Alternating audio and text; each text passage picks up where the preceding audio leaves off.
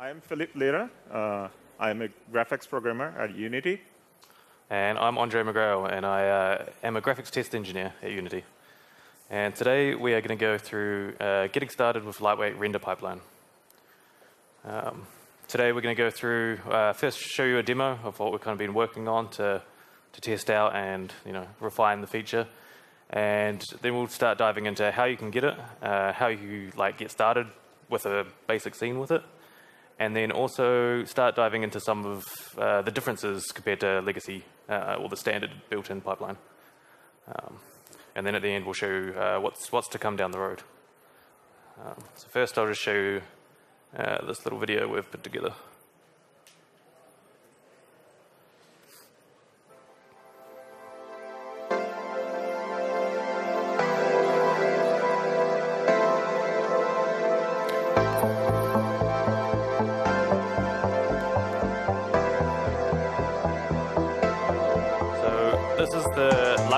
Pipeline, and it's all running um, through it using the new system. This runs on uh, mobile devices. Uh, we're currently hitting iPhone 6s at a, a pure smooth 30 FPS, and we're almost reaching 60 FPS. Um, we're just a bit shy in a few scenes. But this makes use of some of the new features and uh, it's, it's, it's showing us really what we need to try and create with uh, these new rendering pipelines.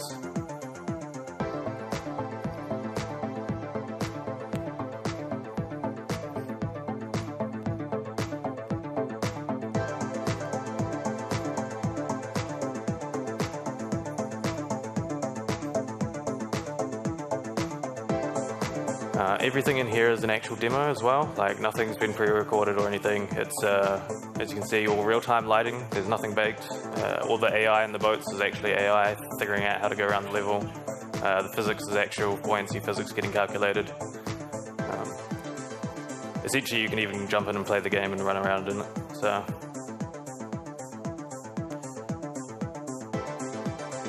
it kind of gave us a good representation of what we could achieve if someone was to jump in and make a game with this render pipeline.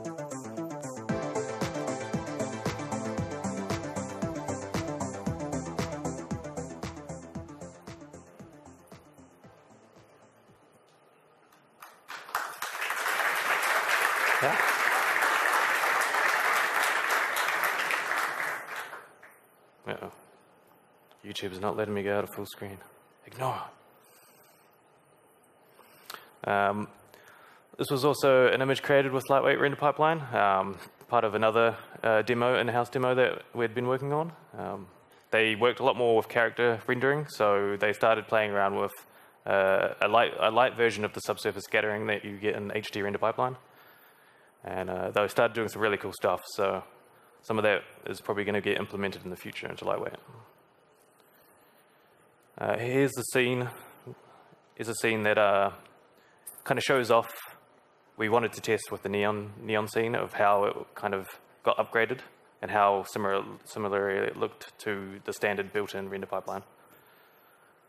Uh, and again here, uh, another scene was made originally in standard lightweight, I mean standard render pipeline, and then was upgraded to the lightweight render pipeline.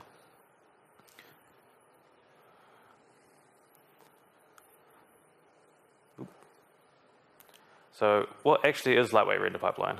Um, now, lightweight render pipeline is a scriptable render pipeline. And a scriptable render pipeline is essentially our new kind of fully open API for C Sharp.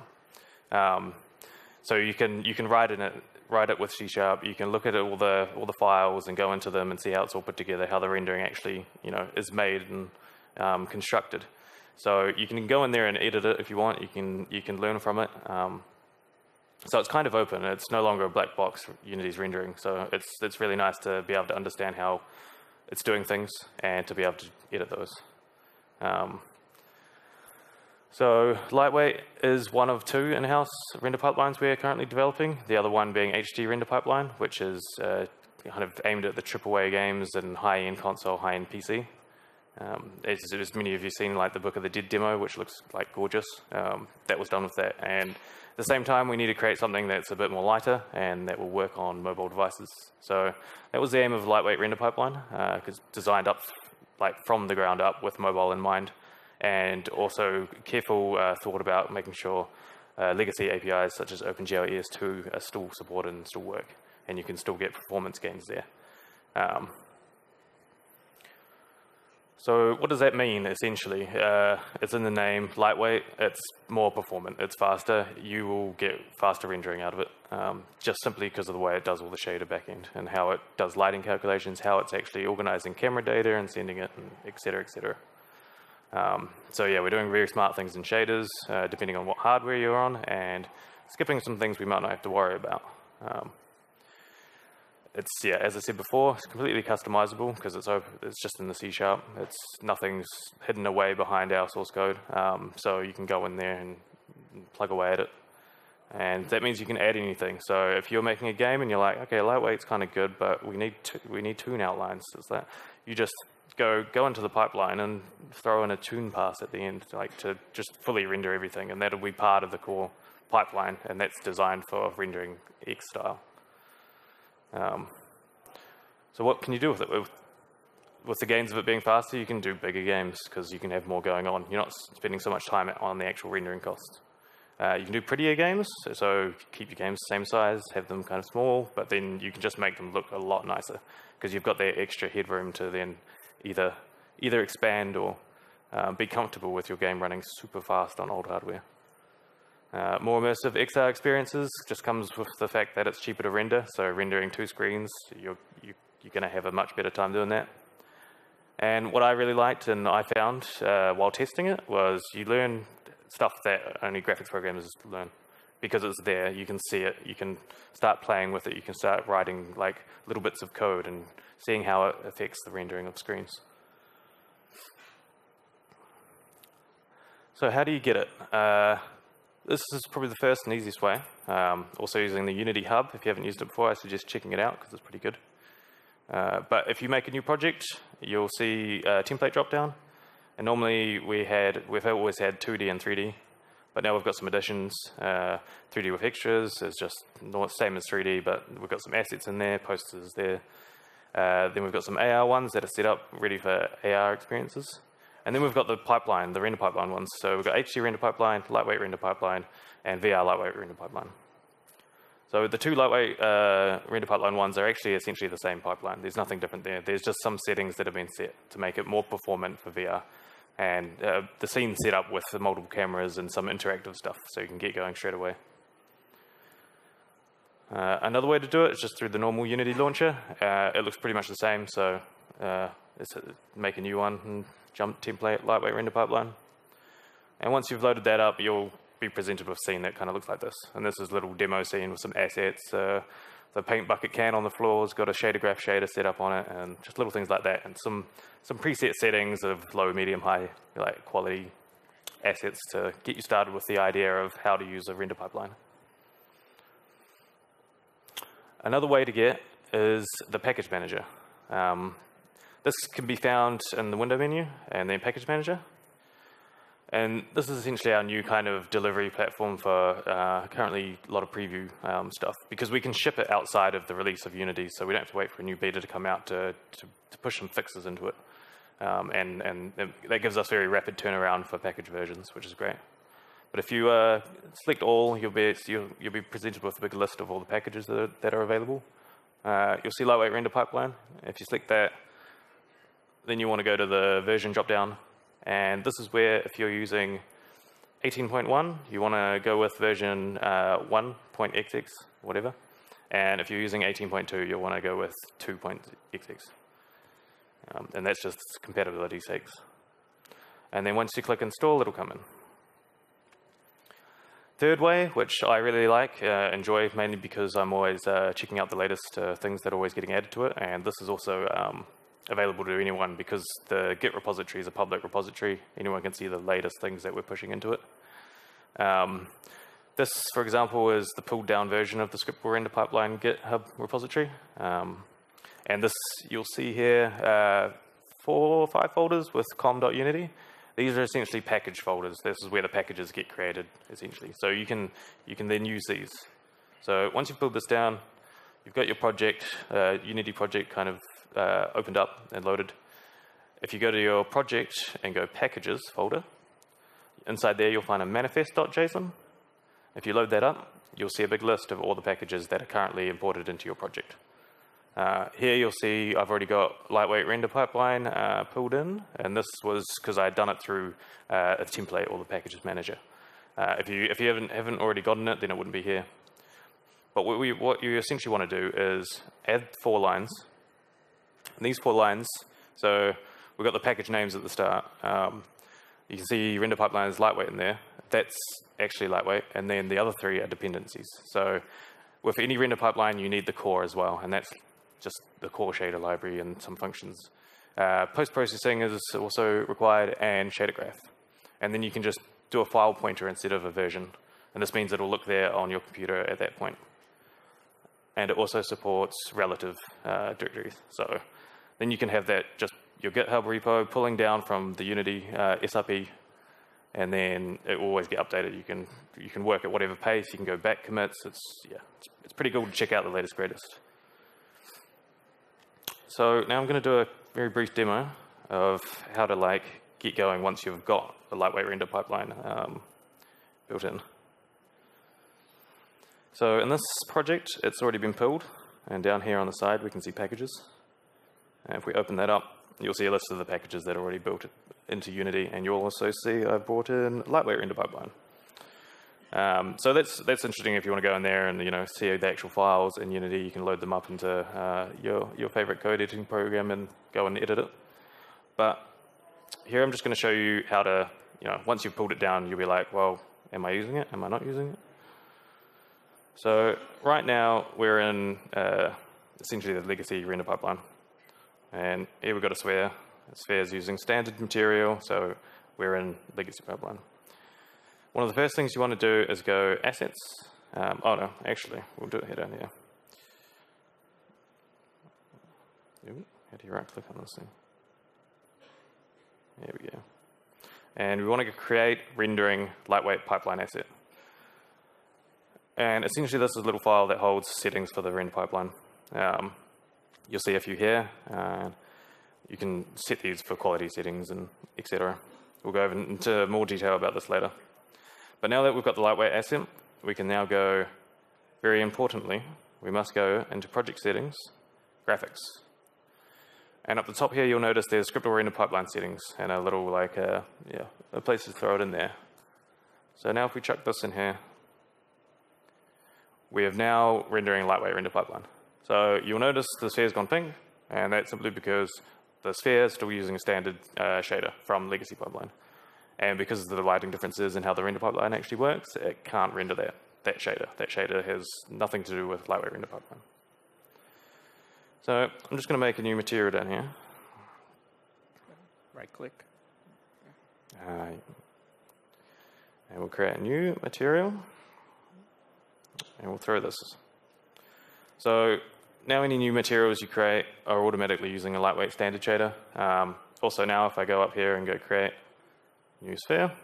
We also get a sphere with a render, lightweight render pipeline compatible shader on it. Uh, one quick thing I'll just briefly show, because uh, it's pretty cool, is the shader graph. This, I'll, ju I'll just go into the basics of how to make one. So if we go create, we'll go shader, you'll see here we've got some graphs. Uh, PBR, PBR graph, subgraph is a graph that you can embed, and unlit graph is for unlit shaders. So we'll just quickly make a PBR graph. Call that new shader graph. Open that, and it will compile. Dump that here. And so here you will see we have a master node. Zoom in that. And I'll just make the worst shader in the world. Find some color. Plug the color in. Change the color. Save the asset. And now if we select this uh, material, we can change it to the new shader graph. And now we've got a red sphere. Ta-da! Um, but yeah, that's the basics of uh, how to how to actually get yourself going with lightweight once you've got it in your project.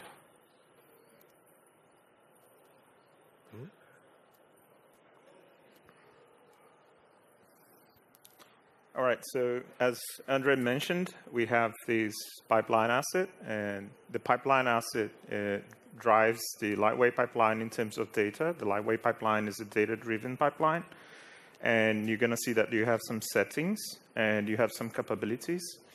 And these capabilities, uh, well, first, the, you can create multiple assets to control quality, so you can uh, uh, build to different platforms with different assets or even change that at runtime. Uh, and the capabilities there are basically a contract between the developer and the pipeline because we want to be able to provide you with a very lean build and strip everything that you don't need. So for instance, if you're working on a mobile game and you don't, you don't care about local shadows, uh, shadows for local lights, and I'm going to explain what, what are local lights uh, later down. Then you can just disable local shadows.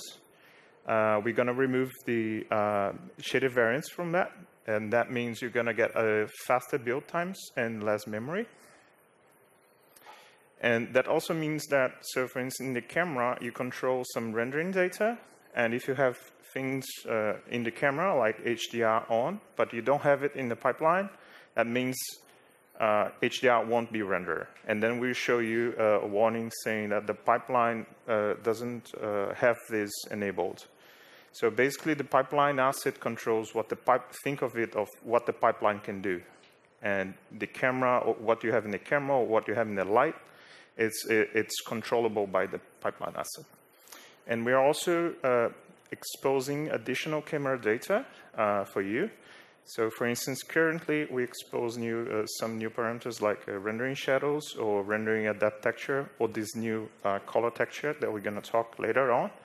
And eventually we will grow this additional camera data with more things. Um, but these allow, for instance, in the boat demo, none of the FX cameras, they render shadows. And this is how we control it. Regarding shaders, um, none of the lit shaders work with Lightweight Pipeline, and that basically is because we provide a new shading framework. Uh, and we also provide a new set of standard shaders. Uh, you can find them under the Lightweight Pipeline category in the dropdown, and we provide a lit physically based, and that basically is uh, within, the uh, within the same shader, you have the metallic and specular workflow. We provide a lit, a simple lighting, that is basically a Blinn-Phong, and this basically replaces all of the uh, legacy and mobile shaders that we had in built-in before. And we provide a lit and lit that basically means that there's no dynamic lights computed in this shader, but you still get GI, so you get the either light probes or light maps with it. And for particles, we provide physically based, simple lighting and lit particles. And for terrain, uh, it's a work in progress. Currently, we have uh, the base terrain and grass, but no, no trees spotted uh, yet to Lightweight Pipeline. And all of the Unity Unlit shaders, they work out of the box with Lightweight Pipeline. We also provide a material upgrader that if you have a project and you want to quickly upgrade to Lightweight Pipeline, you can uh, do it. Uh, so currently, we, we only convert the built-in uh, built-in Unity shaders. If you have some custom shaders, you have to upgrade them manually. And what the upgrader does is basically sorts out the material surfaces differences between built-in and lightweight pipeline and takes handle of that and update, upgrade your materials. You can also, so that is uh, exposed in the edit, edit menu. And if you go down to render pipeline, you have options to upgrade the project materials or to upgrade selected materials. Um, these standard shaders, they're very flexible, but they grow very fast with the many variants. And that means it's especially uh, variant explosion is especially bad with mobile because when you build, it builds uh, combinations for all APIs. And for GLES, we store the shaders in text format, and that consumes memory. So basically, in 18.2, we provide a way to strip, uh, to strip shader variants uh, on C Sharp side. So basically, in, at the build stage, you can say you can strip multi-compile variants. And the lightweight pipeline uses that to strip invalid combinations. Uh, and for instance, the, the lightweight pipeline doesn't support dynamic GI, so we don't care about real-time light, light, maps. And then if you have a light map on, if you have a di directional light map keyword without a light map on, that means it's basically an invalid combination. Or we strip unused uh, shaders and passes. For instance, if you select in the pipeline asset that you don't care about uh, real-time shadows, then we don't have to put the, all of the shadowcaster pass, passes in the build. And we strip the meta passes and so on. And basically, the, the pipeline capabilities that you select, we also strip those. Um, I'll talk about some uh, implementation details of uh, Lightweight Pipeline, but before, I would like to show some numbers on how it compares with built-in pipeline. And this is a benchmark scene. Uh, it has around 1K uh, uh, renders uh, with different materials and multiple lights. And first, there's this test on iPhone 6s, and these are CPU and GPU timings. And this is the max uh, time in milliseconds. And in lightweight pipeline, uh, you can see you, you have better timings on this. And this scene has one directional light plus four point lights shading all objects. And here's a comparison with more devices. And this these numbers here, they are, they are the average frame time in milliseconds. So we, we basically build average 20 seconds of, uh, of frame time, and we get these numbers. And you can also see that we have um, a fairly good uh, comparison regarding lightweight here. This is a test with one directional light only, and the idea here for lightweight pipeline is to uh, provide a very fast path for a single directional light, which is the most uh, uh, most common scenario in mobile. And here is the same scene and same setup with uh, additional 4 pixel lights. And you can see that uh, in the Galaxy S5, uh, we're doing worse at the moment. optimization for lightweight is still in progress. But what is happening here is that the, because we shade lights in single pass, uh, that means we have branching and indexing, branching on uniform only, and indexing on the local lights. And on the low-end devices, depending on your scene, it might be uh, it might be very costly to do that. So we're working on to get some um, to fix this. Here's another scene. Uh, it's a modified nightmare scene with a few uh, real-time lights as well. And this scene was tested in VR. And it was tested on Oculus Go. And on Oculus Go, we had uh, a script to go to, to unlock the, the VSync. And we got 72 FPS on lightweight pipeline uh, compared to 47 to Unity standard. So that's it for now. And so talking about optimization, these are, if you work on optimization in mobile, you probably hit, hit some of these bottlenecks. So basically, draw calls, um, you're driver bound due to the cost of uh, setting up each draw call and the amount of draw calls you submit to GPU. And this is uh, especially a problem in mobile VR. Or you are fill rate bound. That means the amount of fragments you can shade and output. And this uh, depends on your uh, scene target or on your actual device tar uh, target size and the amount of overdraw you have in the scene um, and bandwidth. So bandwidth is related to the amount of of data that you write and load to tiles uh, in the mobile uh, GPU. So Lightweight Pipeline attacks these problems by providing a, new batcher a new shading framework and a new renderer. That's uh, mostly all of the code is on C Sharp. And throughout the presentation, I'm going to talk about these three uh, systems that Lightweight has. So first, for the batcher, I want to give some quick overview of how Unity built-in pipeline batcher works. And basically, we batch per material. So even if you have uh, same shader, uh, when preparing the work for the draw call, we have a specific material with specific shader, and we build a constant buffer, and we upload this constant buffer, and then issue a draw command. And that happens uh, for every material. And the way to go around this and to alleviate this problem is to create the material property blocks, and so we don't create this constant buffer every frame or every, or every call. And the first thing we did with the SRP batcher is that we cache, we build once and cache the constant buffer for that material. And that lives across many frames. that allows us to, because now we have the cached, so we group all of the materials with the same shader. And by same shader, I mean this exactly same variant as well. And we copy all of the common buffers that are already built into this linear uh, buffer array. And we upload just once for all of this, those materials to the GPU. And we should draw call with a buffer offset.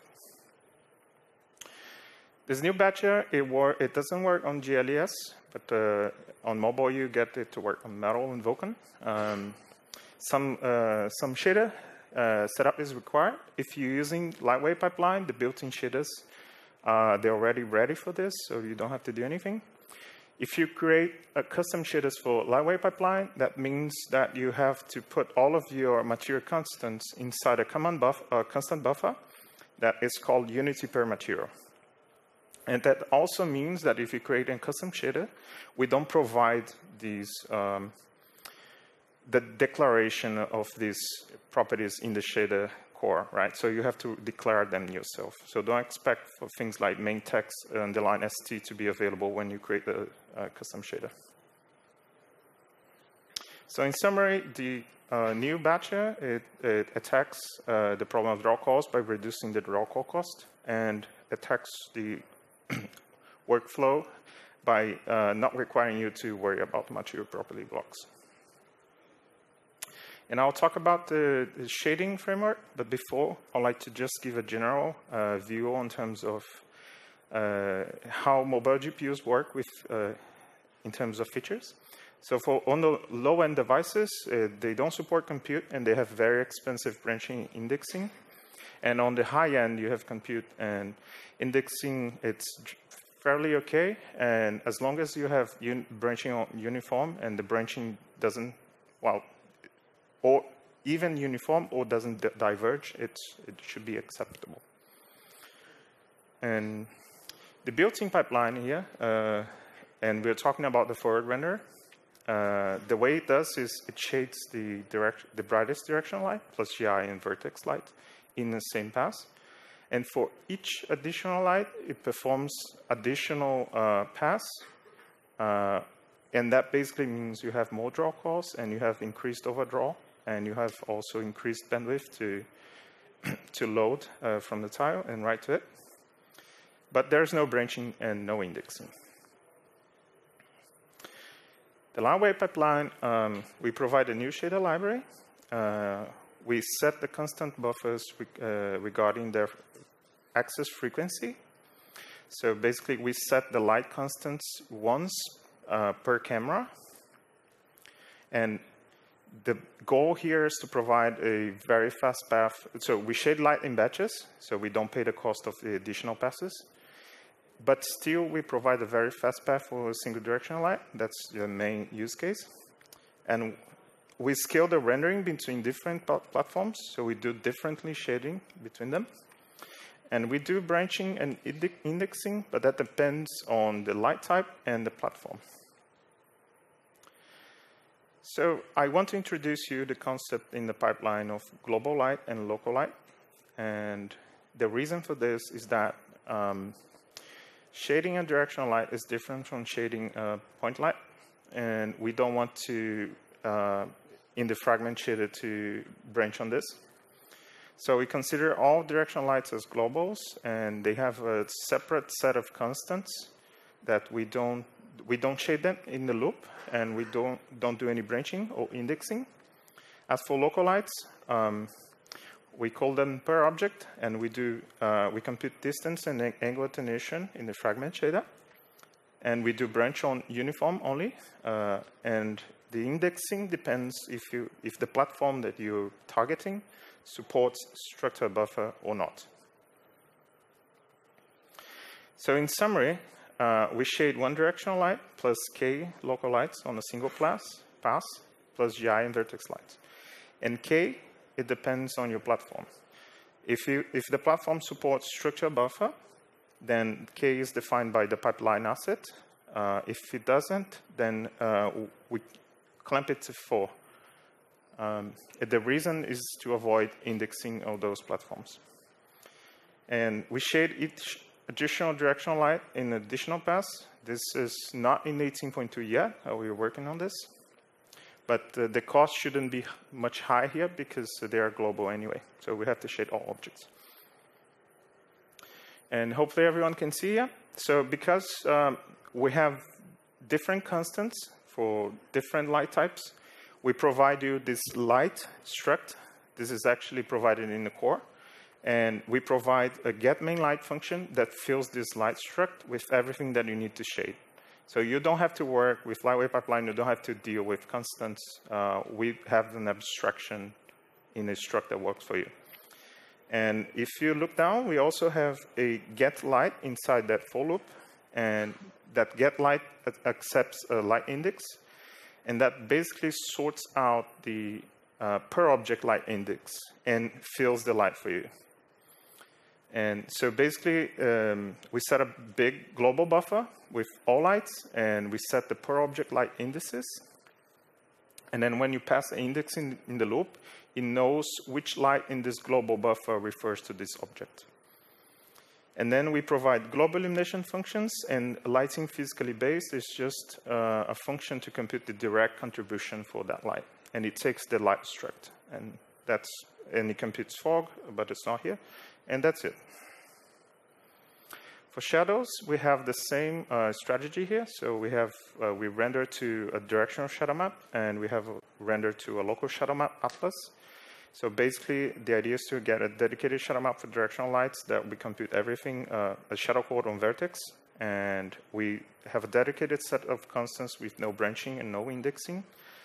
And we still do a screen space uh, resolve, but only if you have cascades. So if you don't have cascades, you will not pay the cost of a depth prepass here.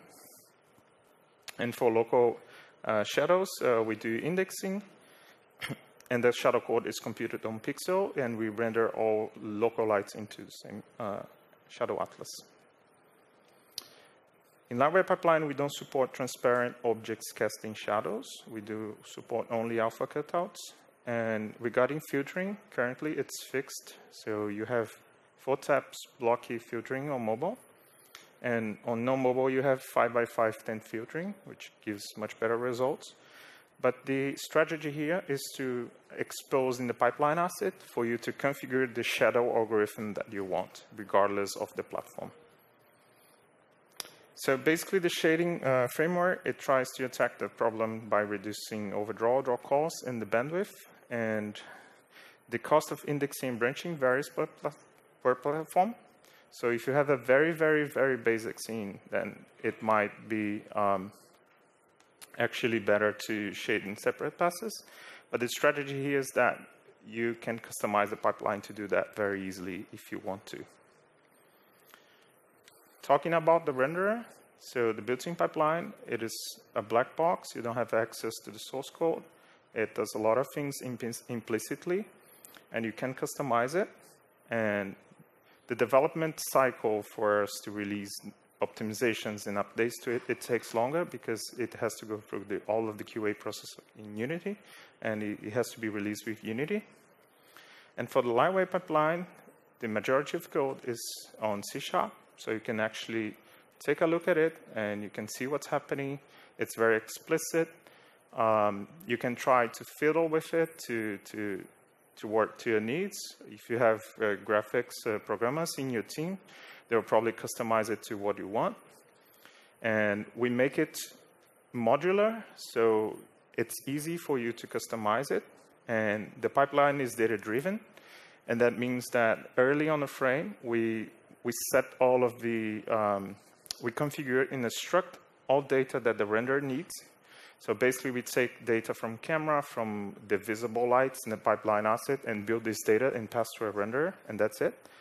And we provide, with that, you get a faster development cycles. So we have uh, more frequent releases on that. And the pipeline can be updated without updating Unity. So you can, like André's showed, you can just go to the package manager and get a new pipeline version. This is a high-level uh, description, very high-level description of the pipeline. And we provide two new uh, callbacks, which are begin frame rendering and begin, and one called be before each camera, be begin camera rendering. So we basically set the constants uh, per frame, uh, per camera. We build this uh, camera data and lighting data based on cull results. We pass all of the data to the pipeline. From this point, the data is read-only, so the pipeline doesn't care about the platform, the, the renderer, I'm sorry. So we pass the data to the renderer, and the renderer doesn't care about what platform you are, or doesn't care about anything. It only cares about the that data that you feed it in. And with that data, it, um, it sorts out what it has to do and renders the frame. So uh, we are providing a forward renderer now. Uh, we're going to work on a deferred renderer uh, later. And basically, the, this renderer, uh, we wanted to make in a way that's pluggable. So you, can, you could also create your own renderer and plug into the lightweight pipeline and don't have to worry about all of the uh, boilerplate code that the pipeline does. So basically, it has three stages. Um, so you create the passes, um, and it, it, caches some rendering data. And the setup phase set up per object light indices, and it basically figures, figures out the dependencies on the pipeline. And enqueue, all of the passes needed and requested based on what you what the camera wants. And we have to think about tile utilization here because uh, we don't want to be like render shadow map and render game and render another off-screen camera render game. And we don't do a depth prepass unless you have cascade shadows or if the platform doesn't support to resolve multi-sample depth. And it just executes and EQ the passes and perform additional uh, editor camera rendering later on. And that's it. So now I'll switch back to André. Yeah, thank you. Uh, so I'm going to go over a little bit of some of the implementation and uses of lightweight render pipeline in the demo you saw a video of earlier.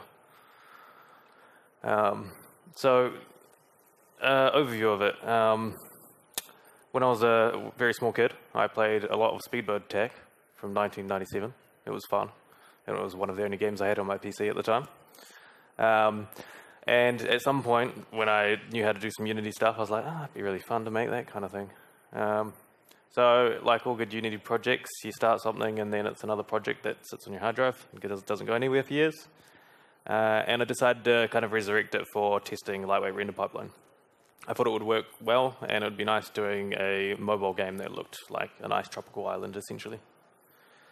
Uh, so,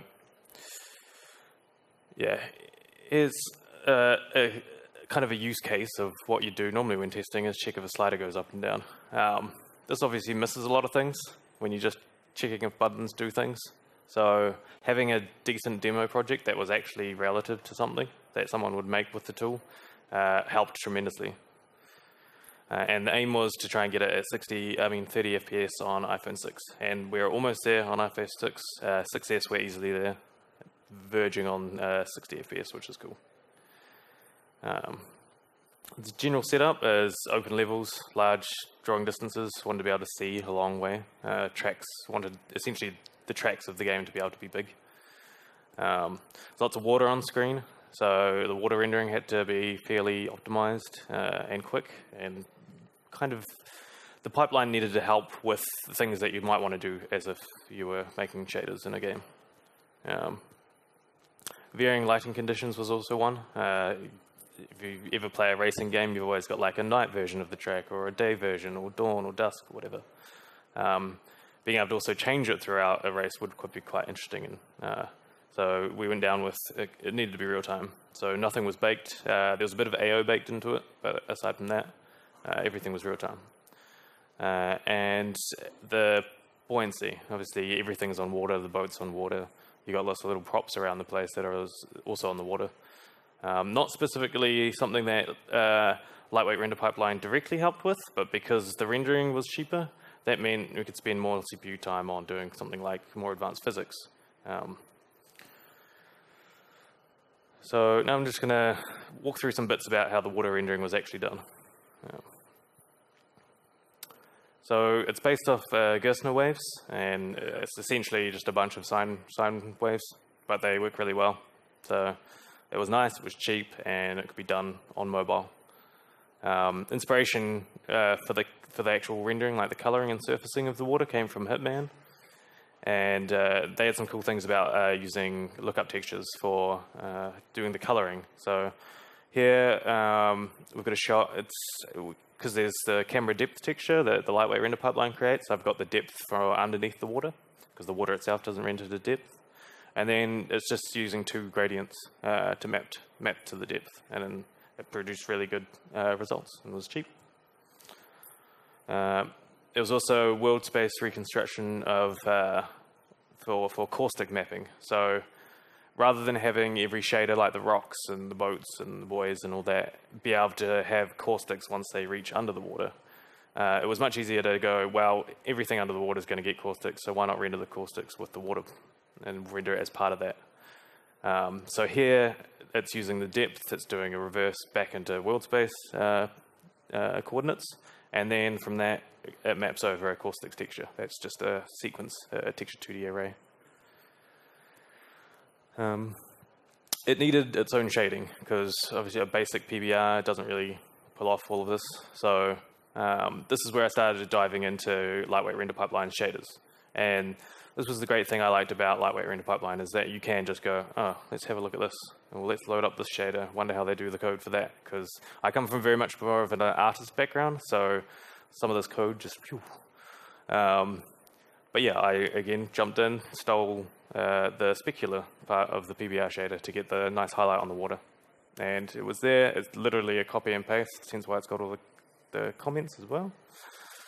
Um, and I also had to access uh, light space shadow map.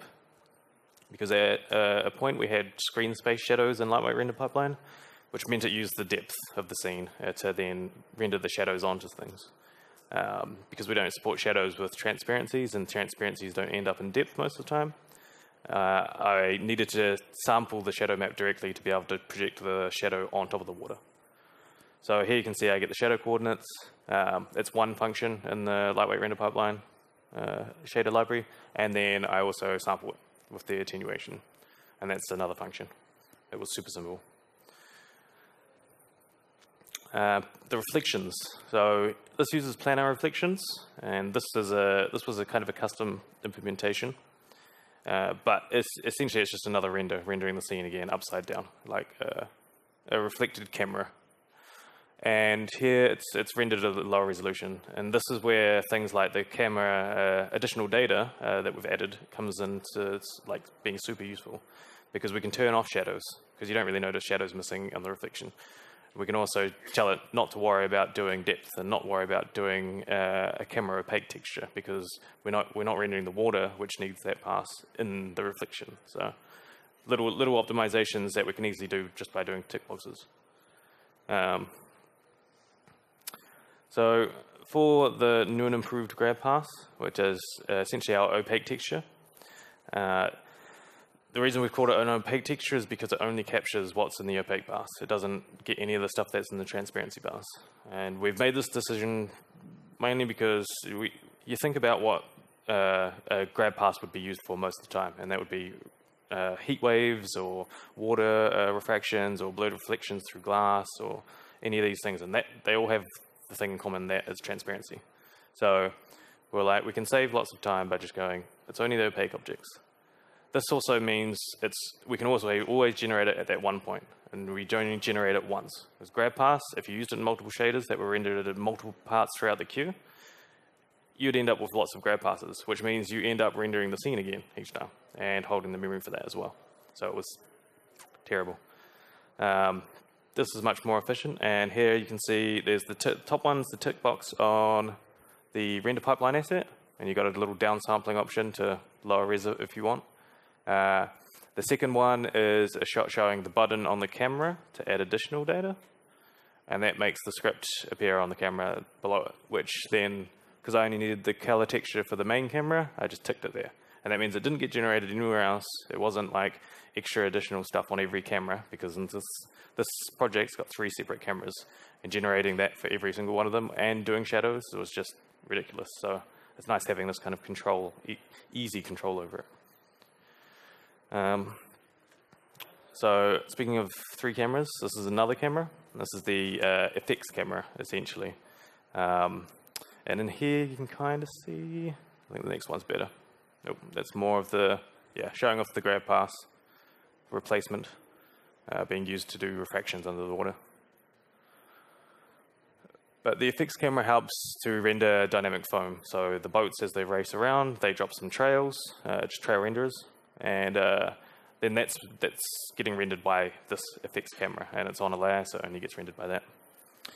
This then gets saved into a, render texture, which then can be used, and this is also doing the displacement of the water. And that pass looks something like this, which is kind of interesting. Uh, but you'll see the red kind of colors, the foam mask, uh, green and here, blue, uh, yeah, green and blue, uh, the normals R and uh, G, because we don't, generally water's always on a flat plane, so I can just get rid of one channel, not needed. and the alpha is actually the height. So you can't see the alpha in this shot, but it's used to actually push the vertices up to give it a bit of a wake. So ignore that bottom one, I didn't re reorganize the channels properly. Uh, another custom uh, shader that was needed was some vegetation, because uh, was going to be, uh, it's a tropical island, you've got to have nice palm trees blowing in the wind and stuff. So um, I started working on that. And the, the thing with this is that it wasn't that much different from a normal PBR shader. I didn't need too much more apart from some vertex offsets. So in this, this way, I used all the functions from Lightweight Render Pipeline. Uh, so here you can see uh, that was broken down before earlier with a full kind of like code, sort of a how that works internally. That's the lightweight fragment PBR. And you feed it the data, so you feed it some input data that has information about the surface that you're rendering, then it has like uh, surface data, which is albedo, uh, your like specular, metallic, all that kind of stuff.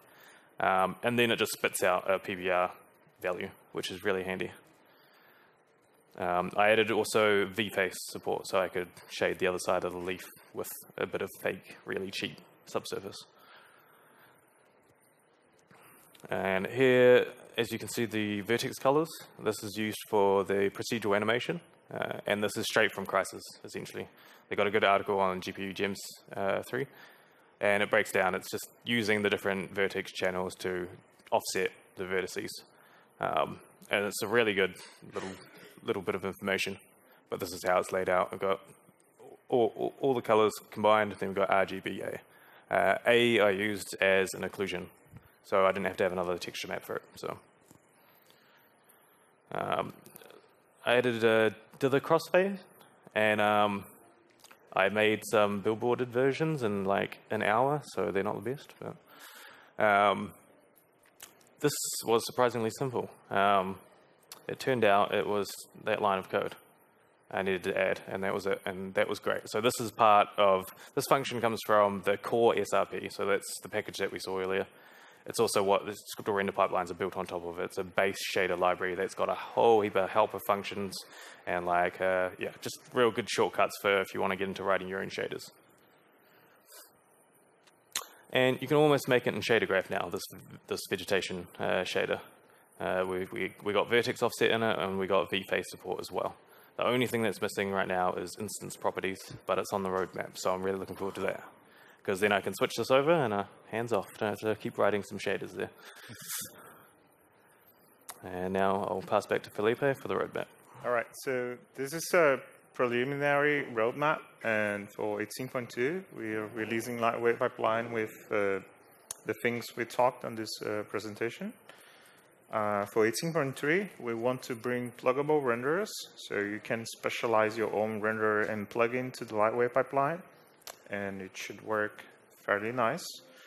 Uh, we want to bring point light shadows support because it was not a priority back in, but uh, we want to, to support it. And um, at the end of the at 18.3, we're gonna work to stabilize C Sharp and uh, Shade API, so we don't break, uh, we don't have any breaking changes uh, from this point on.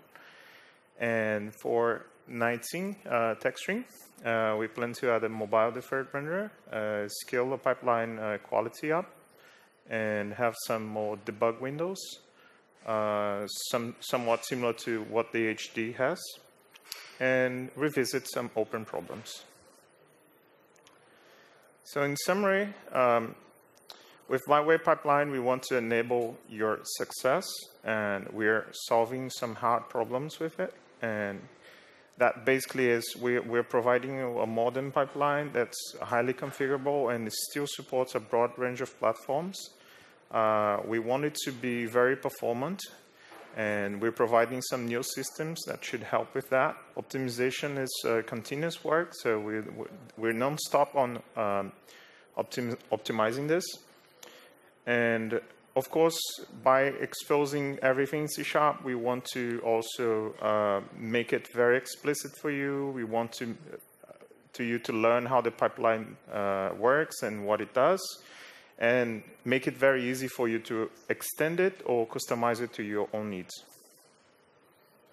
So that's it, guys. And uh, if you have questions, uh, we uh, love to take them.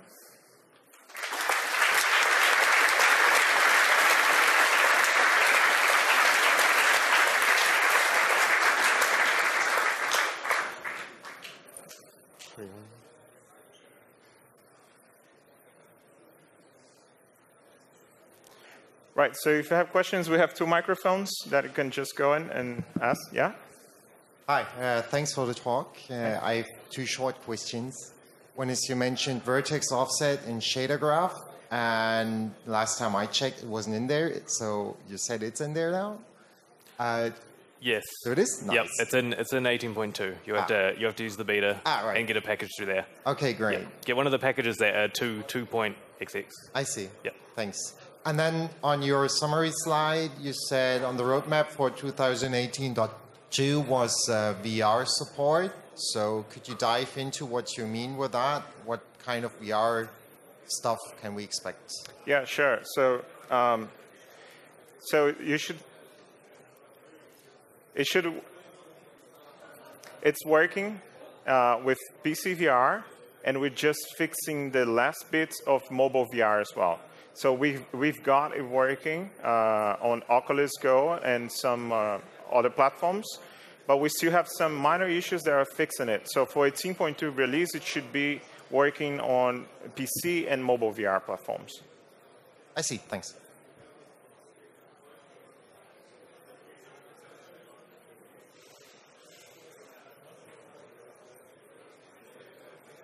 Uh, Hey, guys. Uh, Question regarding 2D, because you have the HD pipeline and lightweight pipeline. They're both targeting mostly 3D content uh, with fairly rich feature bases.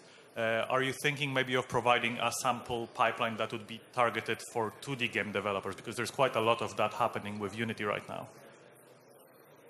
So um, for the 2D, uh, I don't know about the official roadmap for 2D team, but uh, you should have some uh, something related to pipeline uh, render pipeline soon. Uh, we do provide a basic render pipeline uh, that you can take a look on uh, and uh, use for educational purposes. But I, I think there's a solution for HD uh, for 2D coming. Okay, cool. Uh, And the uh, base one that you mentioned, is it on GitHub as well? The- We're working on the docs, uh, and we're going to release them. I think in a. Do you know? Is it a specific uh, doc page? Um, I think to get to, but there is there is that separate A SRP repo specific site, right? that has the old one. uh, So I think it's coming to GitHub, and we'll later have some specific sites. Cool, thank you. How does the memory footprint uh, compare to the existing pipeline? I don't actually have numbers on that now. I'm sorry. I, I, I can follow up and, and get numbers, uh, so I- can meet you and get your contact, so I can share that with you. Hello. Uh, uh, can I have access uh, through C Sharp code to dynamical batching system? Can I control it with uh, this pipeline, scriptable pipeline of uh, control over batching system. The batching, um, so the batching, uh, it happens on C++, so it's not on C Sharp side. Um, you just you, you can control in the pipeline some uh, sorting options that affects the batching, but uh, it's not exposed.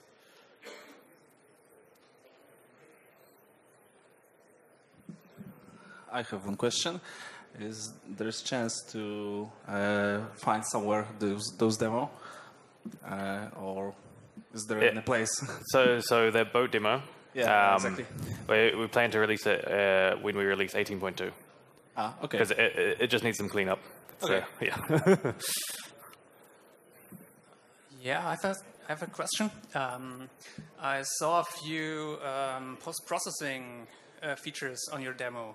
So how good is the lightweight rendering pipeline um, suited for that?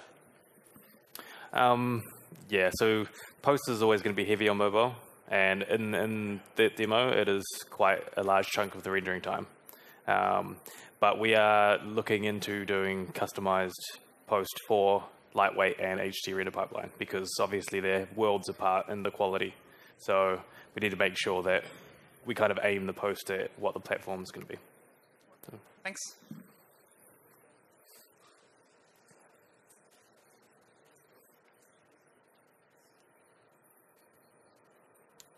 Mm-hmm. All right, so that's it then. Mm-hmm. Yeah. Cool. Thank you very that's it. much. Thank you, guys. Yeah.